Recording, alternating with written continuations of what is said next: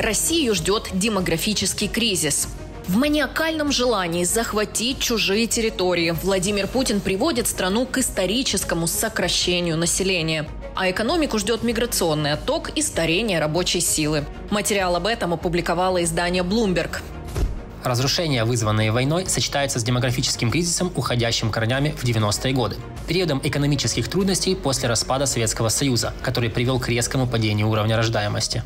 Прогнозируемый демографический кризис за поребриком вызван, первое, тотальным сокращением мужского населения.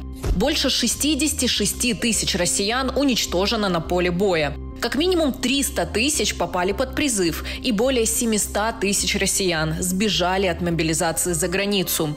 Более миллиарда человек по самым минимальным подсчетам покинуло Россию, и с каждым днем эта сумма продолжает стремительно расти.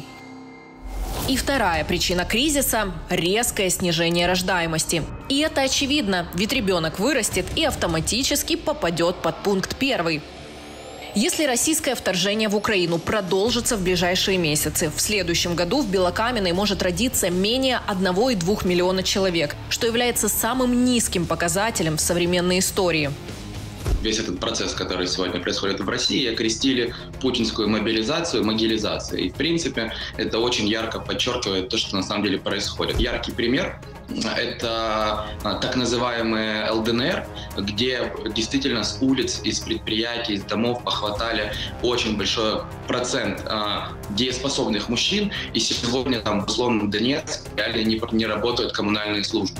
Не работают, потому что все их сотрудники находятся на линии фронта или там где-то в тылу, но в целом э, в российской армии.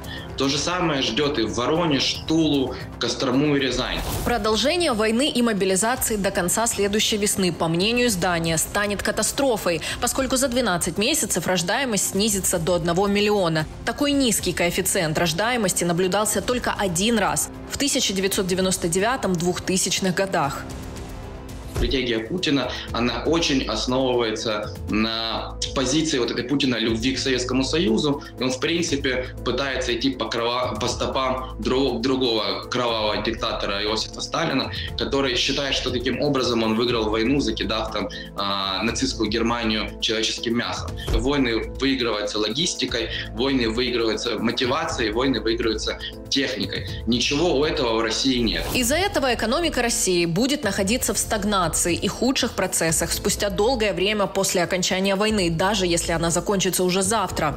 Не последнюю роль в этом сыграла иммиграция. Среди тех, кто покинул Россию, значительное количество – это так называемая интеллигенция, обеспеченные люди с хорошим образованием с мобилизацией, большим оттоком высококвалифицированных сотрудников, которые там уехали в Грузию, в Казахстан, а, в Монголию или в другие страны а, мира, то как раз вот возможность России производить какую-то продукцию с высокой добавочной стоимостью, она очень ограничена.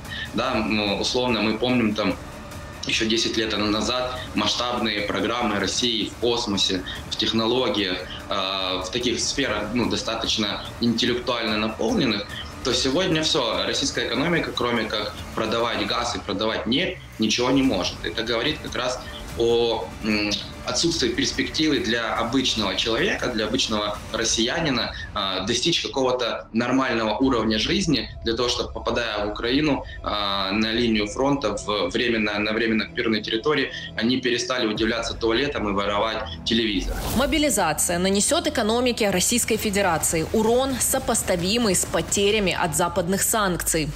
Владимир Путин годами стремился решить демографические проблемы. Я лакец. Я дагестанец.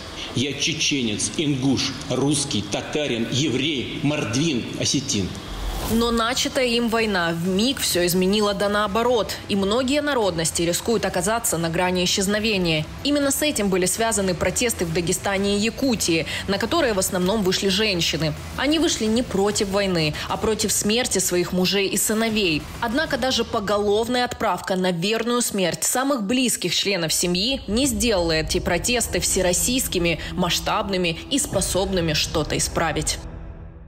Почему вы забираете Почему вы нам мешаете? На кого напали? Куда?